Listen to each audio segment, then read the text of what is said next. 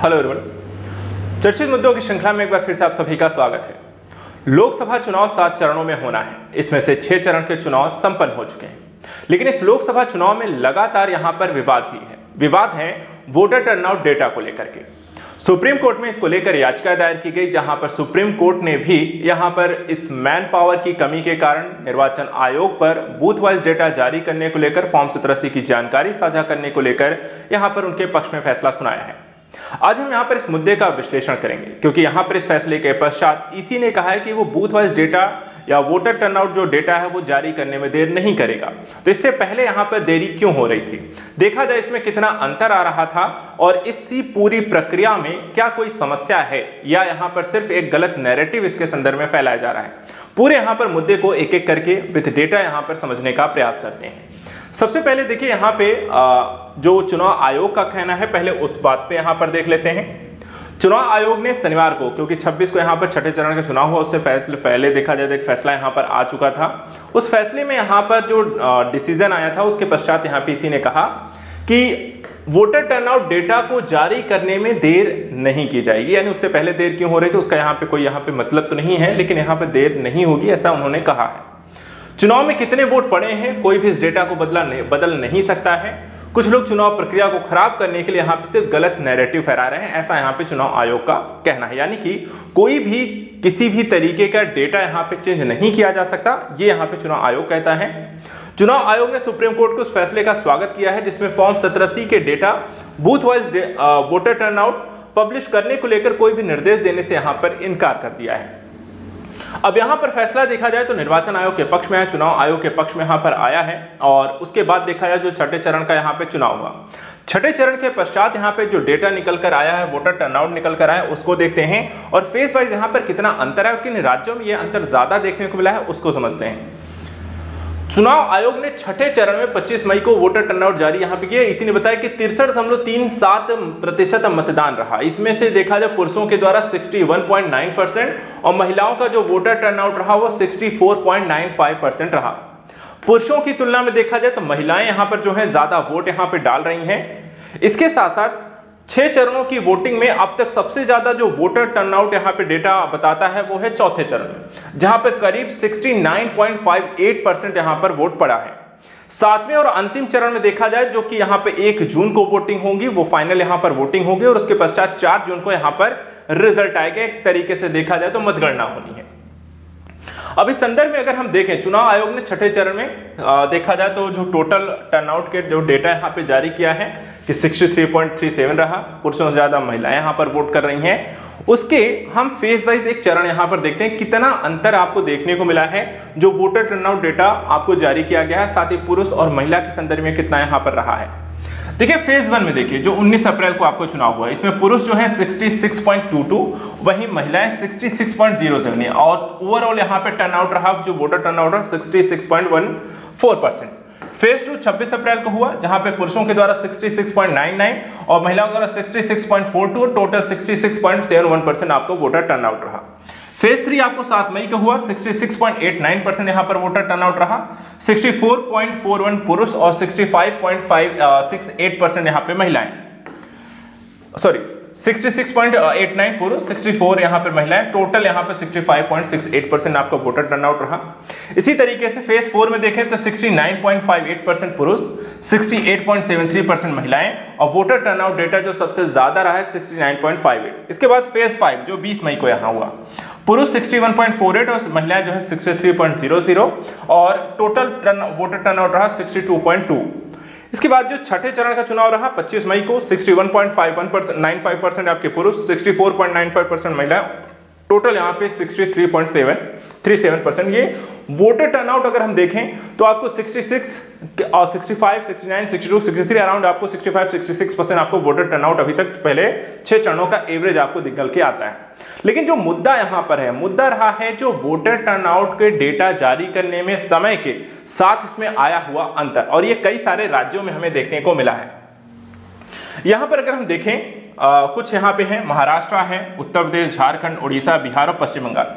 इसमें से अगर हम देखें टोटल आप देख सकते हैं छह बड़े राज्यों में 0.14 परसेंट से 5.91 परसेंट तक की वोटिंग यहाँ पर बढ़ी है। और कहाँ पर कितने बजे? टाइम देखिए सात बजे बारह बजे और बाईस मई को। यानी कि एक दिन आ, एक आ, अगले दिन के यहाँ पर जो वोटिंग रही जो टोटल यहाँ पर वोटिंग आपको देखने को मिली है। महाराष्ट्र में देखिए तेरह सीटें अड़तालीस परसेंट करीब यहाँ पे उनचास परसेंट अराउंड शाम सात बजे, रात बारह बजे तक ये 54.33 पहुँच गया। और उसके बाद ये 56.89 परसेंट बाईस मई तक यहाँ पर वोटा फाइनल डेटा आपको बताया गया है। उत्तर प्रदेश की 14 सीटों पे सत्तावन दशमलव पाँच नौ परसेंट आपको वोटर रहा शाम सात बजे। ये थोड़ा सा बढ़ा 57.79 लेकिन अगले दिन तक ये 58.02 परसेंट तक बढ़ गया। इसके बाद झारखंड में हम देखें, तीन यहाँ पर आपको सीटें रही। शाम सात बजे ये 63 परसेंट आपको वोटिंग रही। रात 12 बजे तक 63.09 परसेंट रही और 22 मई तक ये 63.21 परसेंट हो गई। ओडिशा में ऐसी पाँच सीटों पे देखें तो 60.72 परसेंट आपकी वोटिंग 69.34 परसेंट आपकी वोटिंग रही रात 12 बजे और अगले दिन तक यहाँ पे 73.50 परसेंट तक की वोटिंग पहुँच जाती है। एक बड़ा अंतर।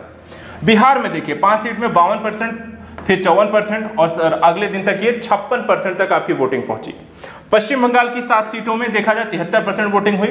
शाम सात बजे तक, बारह बजे तक ये seventy four point six eight पहुँच गया और यहाँ पे बाईस मई तक ये seventy eight point four five percent एक वोटिंग आपको देखने को मिली। तो एक बड़ा अंतर आपको वोटर टर्नआउट डेटा जैसे जैसे यहाँ पे समय बीतता गया है और अगले दिन तक यहाँ पर देखें तो वोटर टर्नआउट डेटा में ये अंतर कैसे आ रहा है, इसी को लेकर के ये यहाँ पे दुविधा आई है और यही यहाँ पर देखा जाए तो निर्वाचन आयोग से लगातार सवाल किए जा रहे हैं, कैसा क्यों हो रहा है, आप वोटर टर्नआउट डेटा जारी करने में देर कर रहे हैं, उसका क्या कारण इस तरह के यहाँ पर डेटा क्यों बढ़ रहे हैं? और इससे संदेह यहाँ पर पैदा होता है। निर्वाचन आयोग जैसी संस्थाएँ जिनका काम यह है कि इस तरह के संदेह को दूर करें और किसी भी तरीके के, देखिए, लोकसभा चाहे चुनाव हो या कोई अन्य चुनाव, इसमें किसी भी तरीके के यहाँ पे इस तरह के किसी भी कह सकते हैं निर्वाचन या मतदाता या प्रत्याशी के अंदर इस तरह का संदेह आता है तो ये उनका काम है उसे दूर करें। अब आइए यहाँ देखिए, चुनाव आयोग जो है बूथवार डेटा देने के खिलाफ क्यों है, वो भी समझ लेते हैं।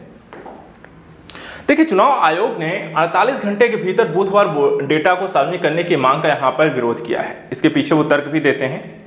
सुप्रीम कोर्ट में दाखिल एफिडेविट में आयोग ने 22 मई को क्या कहा था? उन्होंने कहा था कि फॉर्म 17 सी हर मतदान केंद्र पर डाले गए वोटों का एक रिकॉर्ड होता है और इसी के आधार पर वोटिंग डेटा का खुलासा करने से मतदाताओं के बीच एक भ्रम पैदा होगा। क्योंकि इसमें बैलेट पेपर की गिनती भी आपको शामिल होती है और वो बैलेट पेपर की गिनती आपको बाद में पड़ती है, उसको बाद में शायद जोड़ा जाता है, जिसके कारण यहाँ पर ये स्थिति भ्रम में हो सकती है, जो कि आपको मुख्य रूप से अंतर इसमें दिखाई दे रहा है। आयोग ने एक चीज़ और कहा है, ऐसा कोई कानून नहीं है जिसके आधार पर सभी मतदान केंद्रों का फाइनल वोटिंग डेटा जारी करने के लिए कहा जा सके। फॉर्म सत्रह सी देखें तो केवल पोलिंग एजेंट को दे सकते हैं, इसे किसी अन्य व्यक्ति, संस्था को देने की अनुमति नहीं है, यानी कि कोई कानून भी नहीं है जहाँ पे आप इसमें हमें दबाव बना सकें। फॉर्म सत्रह सी वह प्रमाण पत्र है, जिसमें पीठासीन अधिकारी सभी प्रत्याशियों को प्रमाणित करके यहाँ पर आपको देता है। और तीसरी बात, चुनाव ने यह भी कहा है कि कई बार जीत हार का अंतर इतना नज़दीक होता है कि आप वोटर फॉर्म सत्रह के अनुसार बूथ पर पड़े कुल वोट और बैलेट पेपर को आसानी से यहाँ पे नहीं समझ पाएँगे। और इससे समस्या होगी।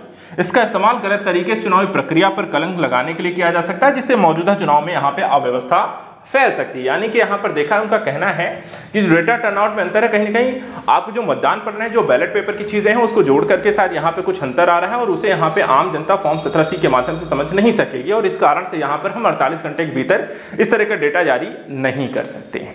ये यहाँ पे निर्वाचन आयोग का कहना है। इसके साथ यहाँ पे कुछ और चीज़ें हैं जो यहाँ पर चलते चलते हम देख लेते हैं।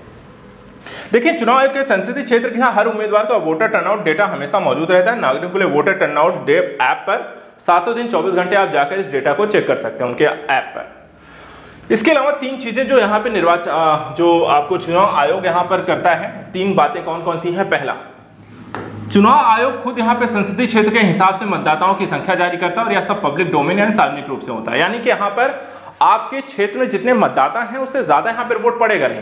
उसको लेकर के आपका डेटा आपके संसदीय क्षेत्र से संबंधित यहाँ पे आप, आप आप जाकर वहाँ पे चेक कर सकते हैं। यहाँ पे कोई गलत फहमियाँ ना हो इसलिए उसको लेकर के कोई यहाँ पे जो वोटर टर्नआउट डेटा उसमें कोई अंतर ना आए।